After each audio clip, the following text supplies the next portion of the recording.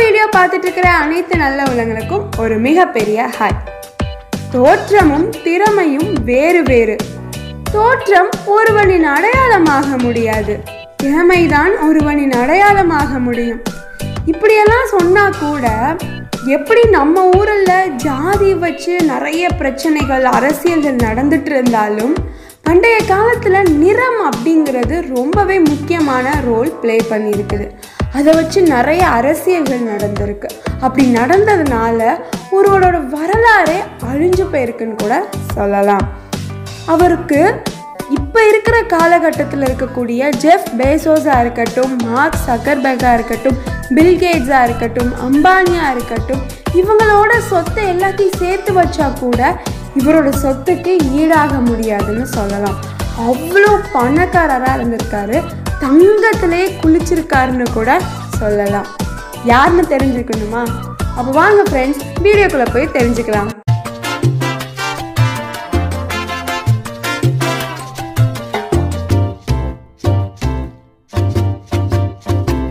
வரலாறுலேயே பணக்காரர் மனிதர் யாருன்னு பார்த்தீங்கன்னா மான்சா மூசா தான் இவர் ஒரு அரச குடும்பத்தில் பிறந்திருந்தாலும் இவருக்கும் அரச குடும்பத்துக்கும் அவ்வளவா தொடர்பு இருந்தது கிடையாது.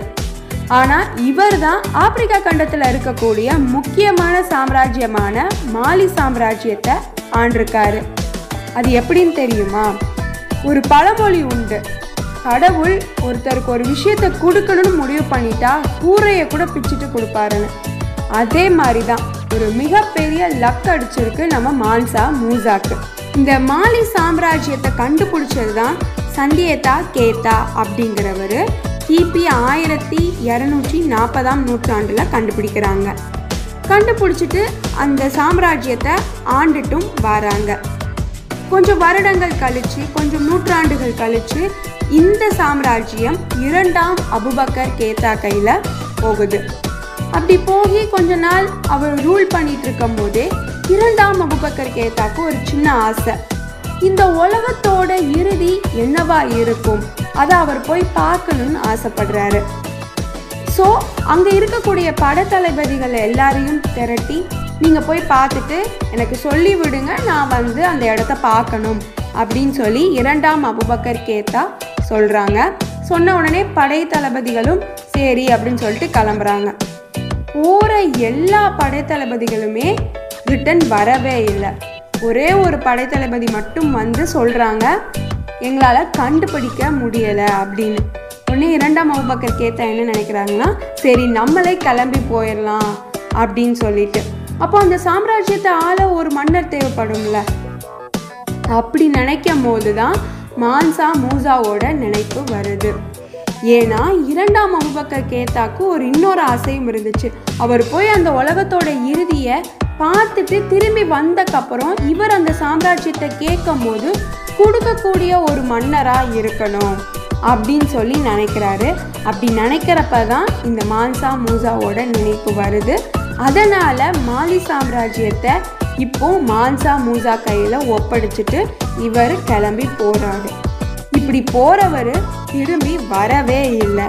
ஸோ இப்போ அந்த மாலி சாம்ராஜ்யம் யார் கையில் இருக்கு? மான்சா மூசா கையில் போயிருக்கு. மான்சா மூசாவோட இயற்பெயர் என்னன்னு பார்த்தீங்கன்னா மாகான் மூசா அப்படிங்கிறதான். அப்போ மான்சா அப்படிங்கிறது எப்படி வந்துச்சுன்னு பார்த்தீங்கன்னா அங்கே இருக்கக்கூடிய ஊரில் மான்சா அப்படிங்கிறத பேரரசரை குடிக்கக்கூடிய ஒரு வார்த்தையாக பயன்படுத்தியிருக்கிறாங்க. மான்சா மூசா ஆட்சி காலங்கள் அப்படின்னு பார்த்தா கிபி ஆயிரத்தி முந்நூற்றி பன்னிரெண்டாம் நூற்றாண்டில் இருந்து கிபி ஆயிரத்தி முந்நூற்றி முப்பத்தி ஏழாம் நூற்றாண்டு வரைக்கும் இருந்திருக்கு. அப்போ வரைக்கும் ஆண்டுட்டு வந்த மன்னர்களுக்கு மாலி சாம்ராஜ்யத்தில் இருக்கக்கூடிய சோர்சஸை கரெக்டான முறையில் பயன்படுத்த தெரியலை. ஆனால் நம்ம மான்சா மூசாக்கு அப்படி இல்லை. தன்னுக்கிட்ட இருக்கக்கூடிய ரிசோர்ஸை எப்படி கரெக்டான முறையில் பயன்படுத்தி தன்னோட சாம்ராஜ்யத்தோட வளத்தை வளர்க்கணும் அப்படிங்கிற எண்ணம் இருந்துச்சு. அதனால் அங்கே கிடைச்ச தங்கத்தையும் உப்பையும் பக்கத்தில் இருக்கக்கூடிய நாட்டுகளுக்கு ஏற்றுமதி பண்ணி தன்னோட வளத்தை ரொம்பவே அதிகப்படுத்தினாங்க மான்சா மூசா. தன்னோட அண்டை நாடுகளுக்கு இப்படி ஒரு சாம்ராஜ்யம் இருக்குன்னே தெரியாத அளவுக்கு மான்சா மூசா மாலி சாம்ராஜ்யத்தை ஆண்டுட்டு வந்தார். என்னதான் செல்வ செழிப்பாங்க அதிகமாக இருந்தாலும் அண்டை நாடுகளுக்கு இது பற்றின தகவல்கள் போகவே இல்லை. அங்கே இருக்கக்கூடிய மக்கள்களும் ரொம்பவே செல்வ செழிப்பாக இருந்தாங்க.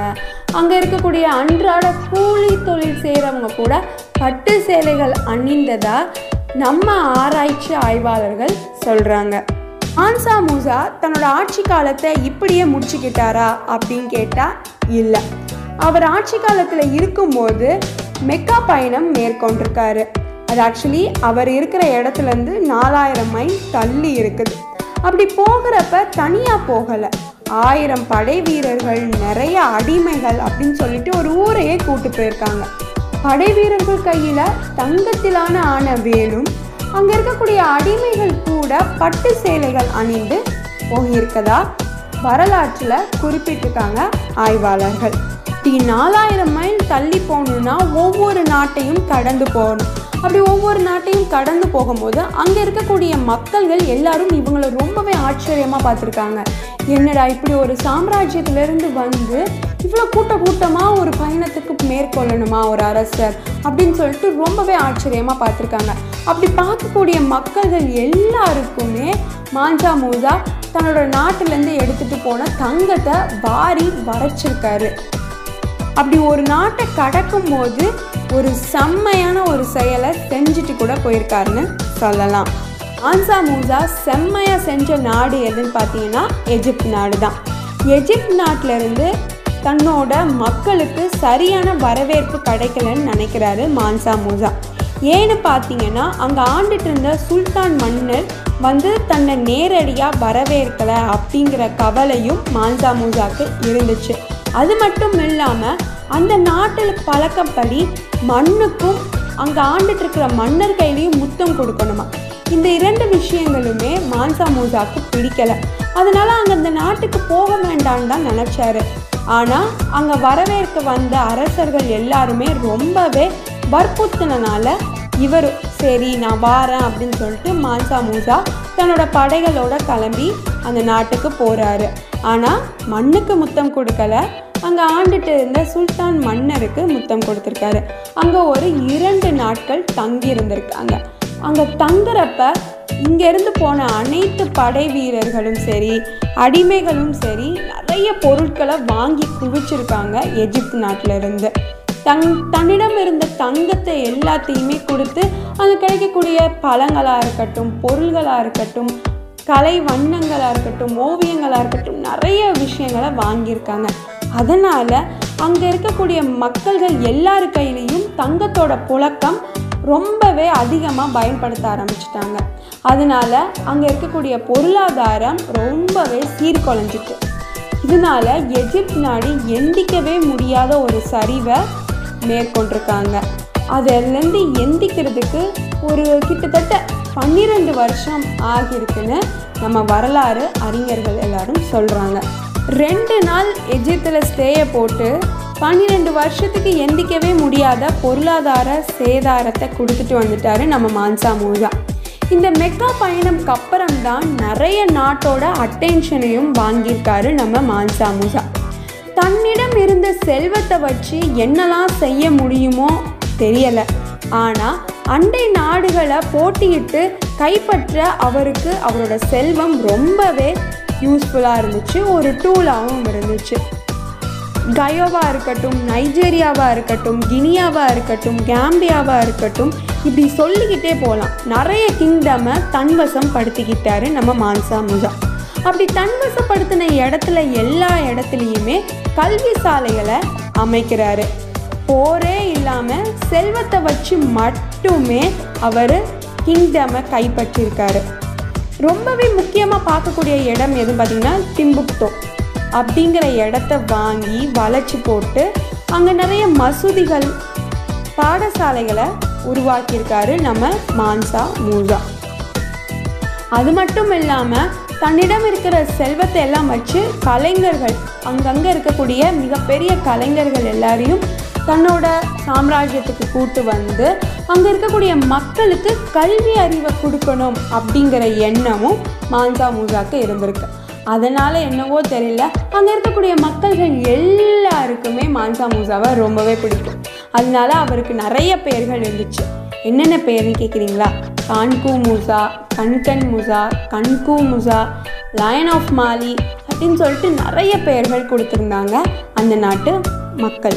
எங்கேயோ எப்படியோ தன்னோட வாழ்க்கையை ஆரம்பித்து ஒரு அரசராக ஆண்டு ரொம்பவே செல்வ செழிப்பாக இருந்திருக்காரு நம்ம மான்சா மூசா. ஐம்பத்தி ஏழு வயசு வரைக்கும் வாழ்ந்து இயற்கையான முறையில் இறந்தும் போயிருக்காரு. அவரோட ஆட்சி காலங்கள் பார்த்தீங்கன்னா கிபி ஆயிரத்தி முந்நூற்றி பன்னிரெண்டாம் நூற்றாண்டுலேருந்து கிபி ஆயிரத்தி முந்நூற்றி முப்பத்தி ஏழாம் நூற்றாண்டு வரைக்கும். இப்படி இவ்வளோ நாள் வாழ்ந்ததுக்கு அப்புறமும் இவரோட பேச்சு அங்கே இருந்துக்கிட்டே தான் இருந்திருக்கு மக்களுக்கிடையே. ஆயிரத்தி முந்நூற்றி எழுபத்தி ஐந்தாம் நூற்றாண்டப்போ ஐரோப்பா என்ன பிளான் பண்ணுறாங்கன்னா ஒரு வரைபடத்தை உருவாக்கணும் அப்படின்னு சொல்லிட்டு. அந்த வரைபடத்துக்கு பெயர் என்னன்னு பார்த்தீங்கன்னா பேட்டலன் அட்லாஸ் அப்படிங்கிற பெயர் தான் கொடுக்குறாங்க. அந்த வரைபடத்தில் மான்சா மூசாவோட உருவத்தை வரைஞ்சு அவர் ஒரு கையில் தங்கத்திலால் ஆன வேலை வச்சிட்ருக்கிற மாதிரியும் இன்னொரு கையில் தங்க நாணயத்தை வச்சிட்ருக்கிற மாதிரியும் தங்க நாணயத்தை முத்தமிட்டு வச்சிட்ருக்கிற மாதிரியும் வரைஞ்சிருக்காங்க ஐரோப்பா மக்கள். எழுநூறு வருஷம் கழிச்சு இப்போ நம்ம ஆப்பிரிக்காவை பற்றி யோசித்து பார்த்தோம்னா நம்மளுக்கு என்னெல்லாம் தோணும்? பசி பட்டினி பஞ்சம் அப்படிங்கிற எண்ணம் தான் வரும். ஆனால் எழுநூறு வருஷத்துக்கு முன்னாடி அந்த கண்டம் மாதிரி ஒரு செல்வ செழிப்பான கண்டம் இருந்திருக்கவே முடியாதுன்னு சொல்லலாம். மான்சா மூசாக்கு அப்புறம் அந்த சாம்ராஜ்யம் யார் யார் கையிலலாம் போயிருக்குன்னு நினைக்கிறீங்க? எப்படி நம்ம ஊருக்குள்ளே ஆங்கிலேயர்கள் உள்ளே வந்து ட்ரேடர்ஸாக உள்ளே வந்தாங்களோ அதே மாதிரி அங்கேயும் ஐரோப்பா மக்கள் அது மட்டும் இல்லாமல் ஃப்ரெஞ்சு மக்கள்கள் எல்லாருமே ஒரு ட்ரேடர்ஸாக உள்ளே வந்து அங்கே இருக்கக்கூடிய மக்களை அடிமையாக்கி அங்கே இருக்கக்கூடிய தங்கத்தை எல்லாத்தையும் சுரண்ட ஆரம்பிச்சிட்டாங்க. அதனால் அங்கே இருக்கக்கூடிய மக்கள் அடிமையாக மாறி பசி பட்டினி பஞ்சம் அப்படின்னு சொல்லிட்டு நிறைய கஷ்டம் அனுபவிச்சிட்ருக்காங்க இன்னமும் அனுபவிச்சுட்டு தான் இருக்கதா சொல்கிறாங்க இன்னமும் கூட அங்கே நிலையான அரசியல் இல்லைன்னும் அப்பப்போ போர்கள் வந்துட்டு இருக்கணும் சொல்லிட்டு இருக்காங்க நம்ம வரலாற்று அறிஞர்கள். கேட்க கொஞ்சம் கஷ்டமாக தான் இருக்குது எப்போ பிரெஞ்சு நாட்டு மக்கள் அங்கேருந்து சுரன்றதை கம்மி பண்ணுறாங்களோ அதாவது சுரன்றதை நிப்பாட்டுறாங்களோ அப்போ தான் மாலி சாம்ராஜ்யமும் சரி ஆப்பிரிக்கா நாடும் சரி எந்திரிச்சு வர முடியும்னு சொல்லலாம். இந்த மாதிரி ஒரு சுவாரஸ்யமான விஷயத்தோட இன்ட்ரெஸ்டிங்கான விஷயத்தோட உங்களை நெக்ஸ்ட் வீடியோவில் வந்து சந்திக்கிறேன். Until then this is boy from three black reds மக்களே stay safe stay home and stay positive and stay tuned to our channel 3 Black Reds. Tada bye!